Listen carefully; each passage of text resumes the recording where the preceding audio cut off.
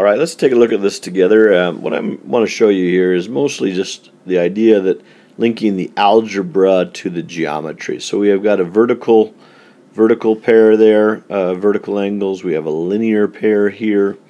We have a set of complement angles here. I want to just quickly show you that we don't always set them equal to each other. In this first case, actually, we end up doing that. We say x plus 20 equals 2x plus 12.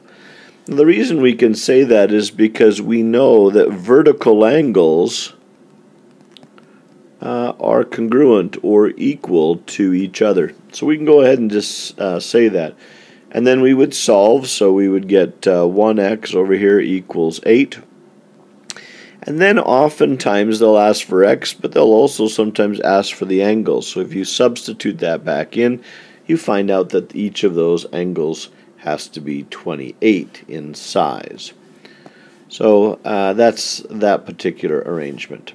Let's look at the next one.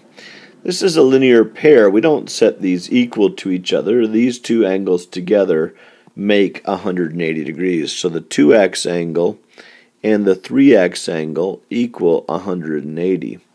Why is that true? Is that a linear pair, linear pairs, um, are supplements. They add up to 180 degrees. So you and I would just solve 5x equals 180.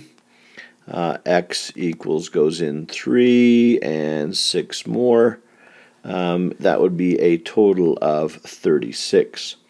Then again, we would take that and plug it in. So that would be a 72 there. And then that would be 3 times 36 for its value as well. So notice in this case, um, we set them equal to 180. We did not um, set them equal to each other. Very important uh, distinguishing factor. The last one you'll notice uh, is a set of complement angles. So we will say that 2x and x plus 30 together equal 90. So this angle and this angle together equal 90. That's because they are complements, two angles that sum to 90.